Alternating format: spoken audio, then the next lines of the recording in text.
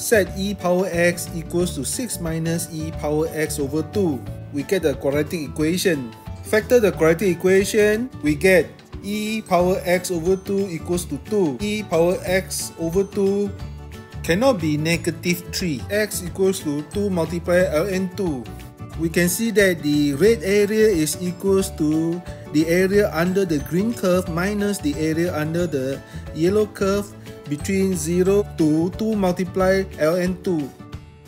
The area can be found by integral from 0 to 2 multiply ln 2, 6 minus e power x divided by 2 minus e power x. Put x equals to 2 multiply ln 2 and x equals to 0. We have 12 ln 2 minus 8 minus negative 3. Conclusion, the area is 12 multiply ln 2 minus 5 unit square.